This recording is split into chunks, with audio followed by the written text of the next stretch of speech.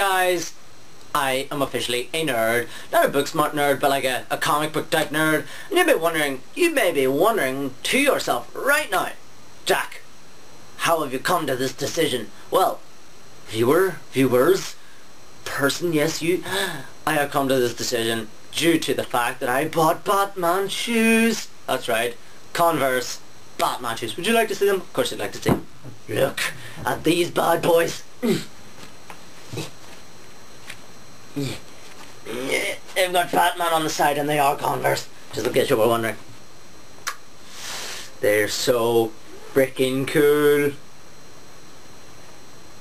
Batman. Batman. So, you may be also wondering, Jack, or thinking to yourself, Jack, that is not a valuable reason of why you're a nerd. Many people have those shoes. Well, I bought a comic book. I bought a comic book just moments ago on my computer which is behind the camera. That's right. It was a Batman comic book. Uh, I have no past history with comic books, so the only reason why I bought a Batman one was because of the awesome cover on it. Yes, I know. And also, the other day I was watching Star Wars, and of course, everybody loves Star Wars. I cannot understand why people don't love Star Wars. It's like the freaking best thing ever. They're all like... Yeah, that was my awful impression of a dude with a lightsaber against another dude with another lightsaber. Yeah, that's right. I'm a nerd.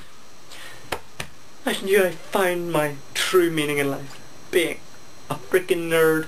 Look at the box that came in. Oh, this is the lid of the box. It's got Flash and a dude with the wings and Superman and Aquaman or Seaman, Batman and Robin and so freaking awesome! Yeah, so guys, I would also like to say I apologize for not uploading. There has just something went completely wrong, buggered up my computer and I was like, oh let me upload! So this shall be uploaded today and I stabbed myself with a pencil. Anyway, yeah, so guys, I apologize for that. But guys, thank you for watching. This is the... Oh, wait! One more thing I must show you. Oh, so freaking dinky and small. It is a real Coke. Oh, it's probably going to explode, but I'm not going to drink it. I don't know why. I'll probably buy it. This was only 40p. I've never seen these in my life. I, I'm not joking. Never in my have I seen these these small cans of Coke in my life. It's 150 mils. I just thought it was the best thing ever. So yeah. I bought a can of Coke. Ah, so. Guys, thank you for watching, and this is actually my final bit. Goodbye, folks, and stay tuned for more from me. Yeah, that's if you would like it.